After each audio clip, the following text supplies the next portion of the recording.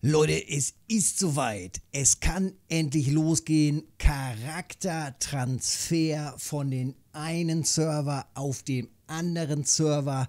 Endlich mit den Kollegen wieder zusammen zocken. Rein da in die News.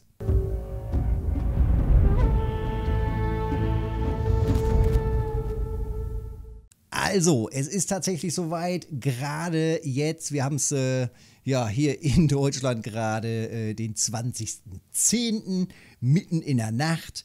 Und ja, es kommen gerade die News raus zum Patch, beziehungsweise ich habe es gerade gesehen, zum äh, aktuellen Patch für New World 1.0.3. Und zu diesem Patch ja, da äh, gibt es natürlich die wichtigsten News des Charakter, äh, der Charakter-Server-Übertragung. Und ja, zu dieser Charakter-Server-Übertragung gibt es natürlich auch noch ein paar äh, detailliertere Informationen und die schauen wir uns mal im Detail an. Das heißt, ähm, ja, es kommen natürlich jetzt die Wartungsarbeiten oder wenn du das gleich siehst oder gesehen hast, äh, laufen diese Wartungsarbeiten vielleicht sogar schon. Und ähm, danach soll es hier unter der Rubrik Shop bei Weltübertragung ein weiteres Fenster geben, nochmal mit den Voraussetzungen und allem drum und dran. Und ähm, ja, diese Infos und diese News und was es da im Detail gibt, das gehen wir jetzt mal im Detail durch. Ja, New World hat uns da auch äh, direkt so eine Art Leitfaden quasi gegeben mit den wichtigsten Fragen, die man natürlich dann auch hat. Zum Beispiel, wie übertrage ich meinen Charakter? Das so als Basic natürlich. Und äh, dazu wird geschrieben, meldet euch mit dem gewünschten Charakter an. Das heißt also, man muss erstmal rein, man muss gegebenenfalls auf vollen Servern sich durch eine Warteschlange durchquälen und online sein. Als nächstes steht dann dort, äh, es wird in diesem im Spiel, diesem Spielshop, diesen neuen Reiter geben. Und äh, dort könnt ihr eine Charakter, äh, ein Charakterübertragungstoken abholen. Okay, im Shop. Gucken wir da nochmal. Und ähm, dann ist es wichtig, dass der Charakter die Kompanie verlassen hat. Also raus aus der Kompanie und dann kann man quasi erst den Charakter transferieren. Nächster Punkt ist, außerdem müssen sämtliche vom Charakter ausgestellte aktive Kauf- und Verkaufsaufträge im Handelsposten entfernt werden. Also alle Aktionen, ob ihr irgendwas ankaufen wollt und das reingestellt habt oder verkaufen wollt, alles aus dem AHA rausnehmen alles schön einlagern oder wegschmeißen. Ich meine, wir haben demnächst so viel Zeit, noch weiter nachzufarmen. Das kriegt man schon alles wieder rein. Oder halt irgendwo wieder einlagern. Als nächstes äh, schreiben sie, euer Charakter muss sich für die Übertragung an einem geschützten Ort, zum Beispiel in einer Siedlung oder einem Außenposten befinden. Also nicht irgendwo random beim nächstbesten Mob rumstehen, ist eher schlecht, sondern einfach safe up in der City und dann ist das gut. Dann wird hier der nächste Punkt auch schon ähm, beschrieben. Was kann ich bei der Charakterübertragung mitnehmen? Wenn ich doch so viel aus dem Auktionshaus gerade rausgenommen habe, was will ich alles mitnehmen? Was kann ich alles mitnehmen? Der Charakter behält seinen gesamten Charakterfortschritt. Stufen, Waffenbeherrschung, Titel und so weiter. Also alles, wie der Charakter da ist, komplett bleibt alles so, wie es ist. Darüber hinaus wird auch das Inventar und der Inhalt des Lagers übertragen. Das ist gut. Hoffentlich auch das überfüllte Lager. ich hoffe es. Ähm, das beinhaltet auch Gold und andere Spielwährung. Okay, das kommt auch alles mit. Außerdem werden die Behausungen und Dekorationen übertragen. Ich habe noch gar kein Haus. Wenn ich drüben bin, auf einem anderen Server gegebenenfalls, wenn wir da einen schön freien finden, dann äh, kaufe ich mir ein Haus. Und äh, der Aufgabenfortschritt wird ebenfalls übertragen. Das heißt, wenn du irgendwelche Aufgaben gerade angenommen hast, übernommen hast, zack, wird quasi auch alles mit übertragen. Was wird nicht zusammen mit meinem Charakter übertragen? Ja, da wiederholt es sich quasi nochmal in den Informationen vor der Übertragung, muss der Charakter gegebenenfalls aus der Kompanie austreten. Sie wird nicht übertragen. Aktive Kauf- und Verkaufsaufträge im Handelsposten müssen entfernt werden und werden nicht übertragen. Die Freundesliste gilt jeweils für die individuelle Welt und wird ebenfalls nicht übertragen. Aber für sowas gibt es ja Discord, zum Beispiel unserem Discord. Unterm Video ist der Link dazu. Und da natürlich auch der Bereich für New World mit ganz vielen Informationen, Tipps und Tricks und natürlich der Chat für die Community. Dann, was haben wir als nächstes? Wohin kann ich meinen Charakter übertragen? Der Charakter kann in jede Welt einer Region übertragen werden. Ausnahmen sind. Charaktere können nicht in Welten übertragen werden, die bereits voll sind. Dazu gleich noch mal ein paar nähere Infos. Charaktere können nicht in Welten übertragen werden, die sie in Wartung befinden. Außerdem können Charaktere nicht in Weltensets übertragen werden, in denen bereits Charaktere auf dem gleichen Konto existieren. Ja, verständlich. Man kann ja immer nur einen Charakter pro Server, pro äh, Region da quasi herstellen. Und dann gibt es hier nochmal einen Punkt, eine Frage. Wird es Möglichkeiten geben, meinen Charakter erneut zu übertragen, wenn ich die falsche Welt ausgewählt habe, die Welt meiner Freunde plötzlich voll ist oder ich mit meiner Wahl der Welt oder ich die Wahl meiner Welt bereue? Eine erneute Übertragung, sagen sie da, erfordert einen weiteren Token. Das heißt, einfach so als Info, es gibt pro Account einen Token. Nicht pro Charaktermannequin, sondern pro Account einen Token. Er fordert einen weiteren Token. Unser Team wird die Weltbevölkerungen und Warteschlangenzeiten im Auge behalten und so die Notwendigkeit bewerten, ob eine weitere Ausgabe kostenloser Serverübertragungstoken sinnvoll ist. Heißt, wenn jetzt auf einmal alle Geier auf einen Server gehen und man kommt irgendwie, keine Ahnung, gerade macht man, man macht gerade Feierabend, die ganze Gang sitzt da schon auf dem vollen Server, man kommt selbst nicht mehr drauf.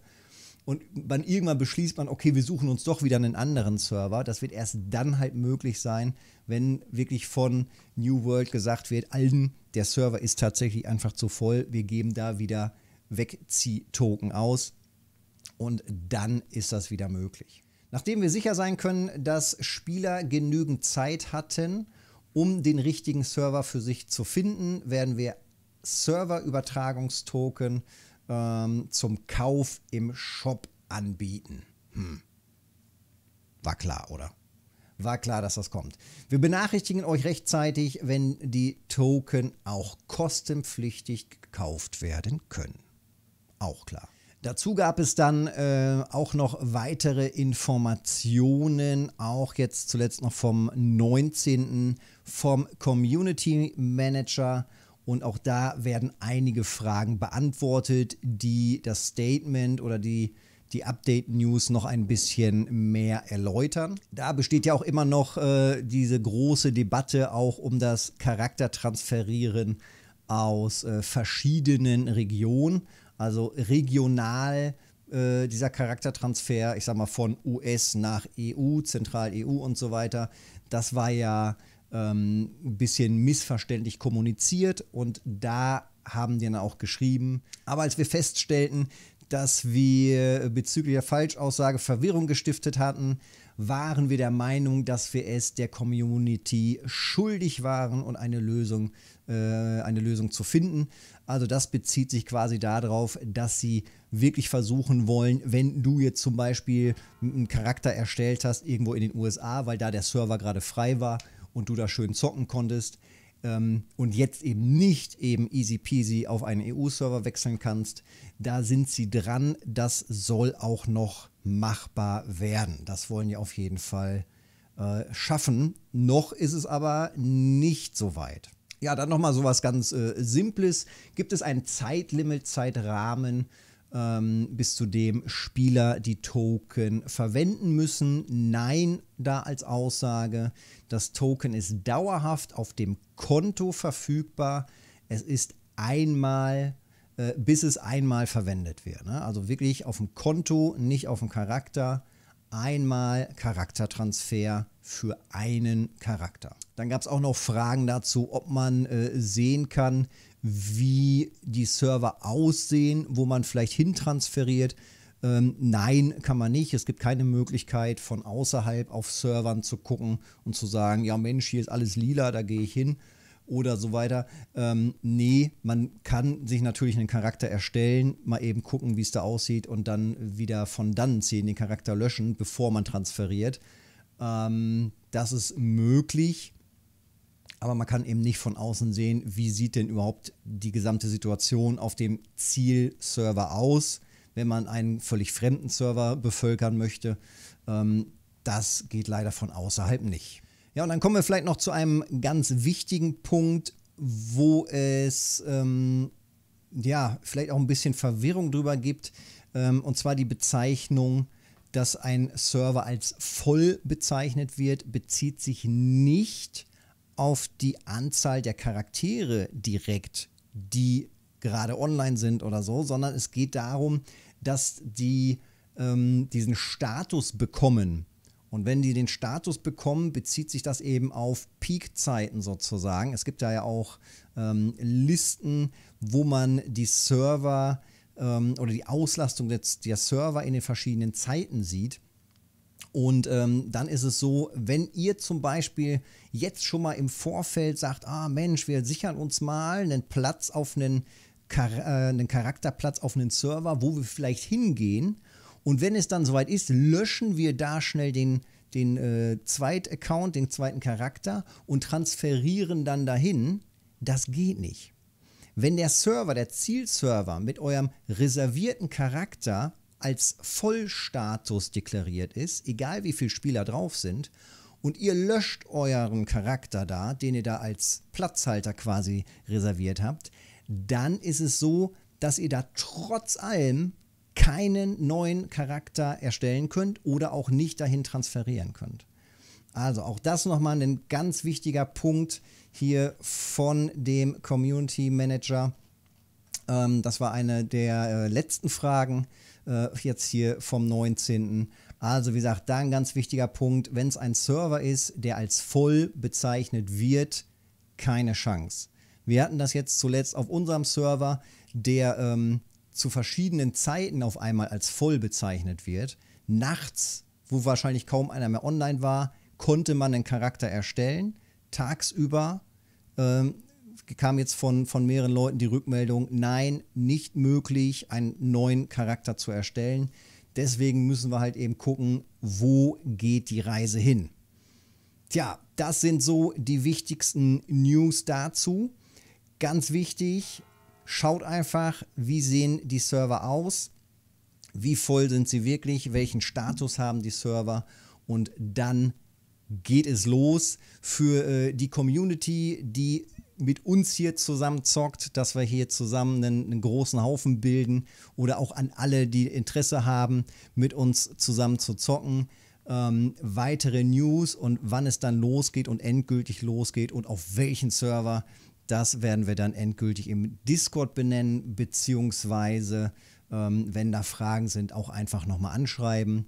Und dann gibt es den finalen Startschuss und wir wechseln gegebenenfalls gemeinsam dann den Server, damit wir auch wissen, alles klar, der Zielserver ist wirklich frei und es können alle da zocken und gemeinsam den Fortschritt hier genießen und das Game genießen. Ja, wenn dir das Ganze geholfen hat und gefallen hat, gerne einen Daumen da lassen für den Kanal. Hier gibt es noch weitere wichtige Infos und News zum Game oder auch zu den Berufen und Skills und so weiter und so weiter. Viel Spaß euch mit dem Game und wir sehen uns im nächsten Video oder im Livestream auf Twitch. Bis dahin.